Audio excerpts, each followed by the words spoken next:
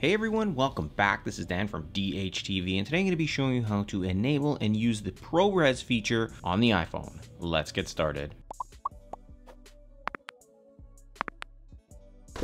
Alright, so the ProRes feature was enabled on the iPhones with the iOS 15.1 update. So you're going to want to open your settings, go to General first, and tap on Software Update here and make sure you have the iOS 15.1 update. If you do have that update, you're going to go back into your settings here and you're just going to scroll down to where you see the camera option. Give that a quick tap.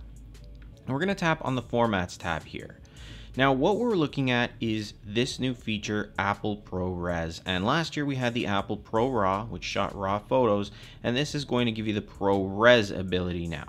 So you can see what it says down here. When you enable it, it's going to show camera controls for ProRes. ProRes is one of the most popular formats for video professional post-production. And then it also tells you a minute of 10-bit HDR ProRes is going to use up approximately 1.7 gigabytes for HD. Now keep in mind I have a little note down here that says ProRes capture is supported for up to 30 frames per second at 1080p. That's because I have the 128 gigabyte model iPhone 13 Pro. If you have a 256 gigabyte or more, you can actually shoot that in the 4K format. But again, keep in mind it's going to burn through quite a bit of memory when you do have it on. So now that we have this turned on, let's go back to our main screen and tap on the camera app here and now we'll be able to access our video section with an option up here that shows ProRes. Now this only works in the video section, so you can't use it in the cinematic option here. You can see we don't have that, but in the video section, you see ProRes. If we tap on it, it's going to turn on the ProRes option and it says max time is four minutes. You got free resources there. If you tap on it, here's what it does. It's going to be freeing up the resources on your phone so that you have more space to actually capture these videos. You can see that the max time I have on this phone with everything I have on it is five minutes.